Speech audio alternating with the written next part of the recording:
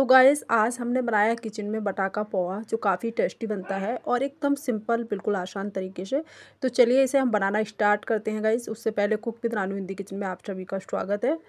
तो आज हम पोहा में यहाँ पर स्वीट्स कॉर्न ऐड करने वाले हैं। काफ़ी टेस्टी पोहा बनते हैं जब स्वीट्स कॉर्न ऐड करके हम पोहा बनाते हैं। तो यहाँ पर मैंने मकाई ले ली है और मैंने एक किलो मकाई ली है, कुछ एक किलो में तीन आए हैं और मैंने इनके छिलके हटा के इन्हें सिक्स पार्ट में तोड़ के डिवाइड कर लिया है।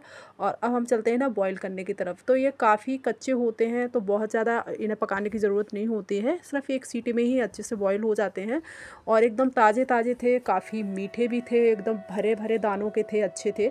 तो अब मैंने इन्हें तोड़ के तैयार कर लिया है तो अब हम चलते हैं बॉईल करने की तरफ़। तो अब यहाँ पर हमने कुकर में पानी ऐड कर दिया है और ऊपर से हम मकाई ऐड कर देंगे। तो पानी हमें कुकर में इतना ऐड करना है, हमारी मकाई अच्छे से डूब जाए और साथ ही साथ मैंने एक चम्मच इसमें नमक भी ऐड किया है।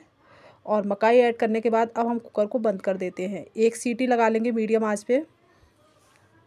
साथ ही साथ हम यहाँ पर पोहा की तैयारी कर लेते हैं। जब तक हमारी मकाई वगैरह अच्छे से बॉईल होके तैयार होगी तो मैंने एक बाउल भर के यहाँ पर पोहा ले लिए हैं और पानी ऐड कर दिया है। और अब पोहा को अच्छे से धो लेते हैं। तो पोहा हमें बहुत ज़्यादा रगड़ के या मसल के इन्हें नहीं धोना है। सिर्फ़ हल्के हाथों से ऐसे पोहा पोहा को हिलाना है और इसमें जो भी डस्ट वगैरह होगी वो निकल जाएगी।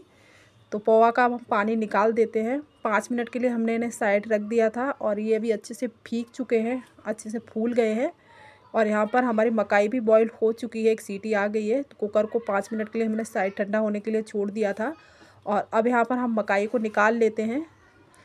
तो यहाँ पर मैं बहुत ज़्यादा स्वीट कॉर्न ऐड करने वाली नहीं हूँ पोहा में, सिर्फ़ एक ही पीस ऐड करूँगी।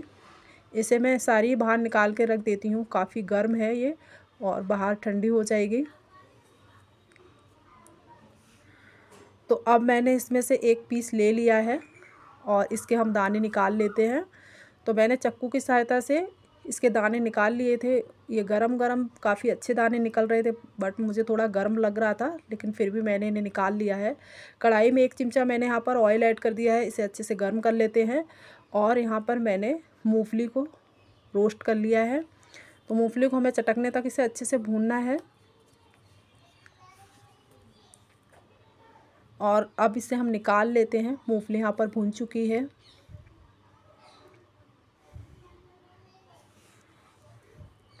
और अब यहाँ पर हम इसमें एक चम्मच राई ऐड करेंगे।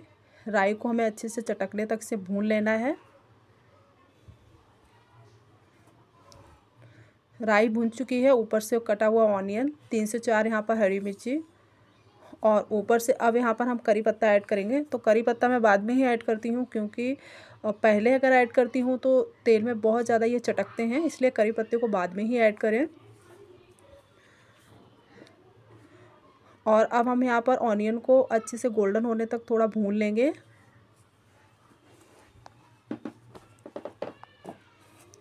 उसके बाद यहाँ पर मैं आधा चम्मच इसमें काली मिर्च पाउडर ऐड कर रही हूँ। और सिर्फ़ दो पिंच यहाँ पर हल्दी ऐड कर रही हूँ। हल्दी बहुत ज़्यादा पोहा में नहीं अच्छी लगती है तो कम ही ऐड करें। और थोड़ा सा चलाने के बाद ऊपर से मैंने इसमें एक बॉईल किया हुआ, इसमें आलू भी ऐड किया है, जिसे मैंने छोटे छोटे टुकड़ों में कट कर लिया था।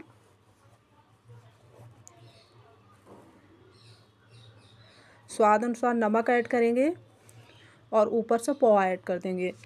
अब पोहे को अच्छे से हमें मिला लेना है, अच्छे से चला कर इसमें जो मसाला वगैरह है वो अच्छे से आ जाए पूरे पोहा में। यहाँ पर गैस को बिल्कुल धीमा कर देना है।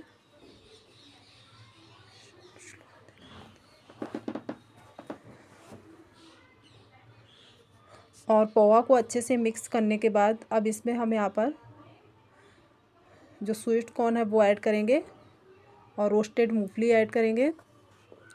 तो अच्छे से हमारा पोहा है, अभी मिक्स हो चुका है मसाले के साथ।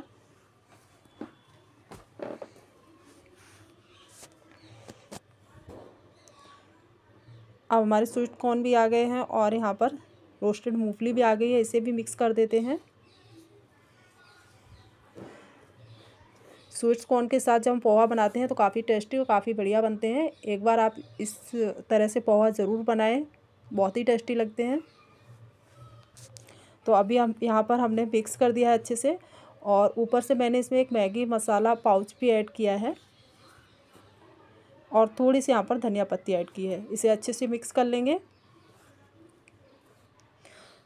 तो गैस हमारे पोहा बनकर रेडी हो गए हैं। बिल्कुल खाने के लिए तैयार है अब। इन्हें आप गर्मा गर्म सर्व कर सकते हैं। तो गाइस अगर आज की हमारी पोहा रेसिपी आपको पसंद आई हो तो इस रेसिपी को एक बार आप ज़रूर ट्राई कर सकते हैं। और ऐसी ही न्यू न्यू रेसिपीज़ के रिलेटेड वीडियो देखने के लिए बने रहें cook with Ranu Hindi kitchen के साथ। अगर आप चैनल पर गाइज़ पहली बार विज़िट कर रहे हैं तो सब्सक्राइब ज़रूर करें। अगर इसे आप फेसबुक पर देख रहे हैं तो फॉलो लाइक कमेंट शेयर करना ना भूलें। और मिलते हैं किसी नेक्स्ट वीडियो में नेक्स्ट रेसिपी के साथ गाइज़ तब तक के लिए थैंक यू बाय बाय